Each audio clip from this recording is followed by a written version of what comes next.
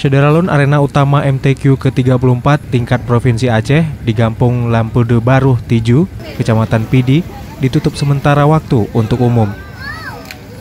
Sejumlah masyarakat yang berdatangan pun memilih memutar balik kendaraannya.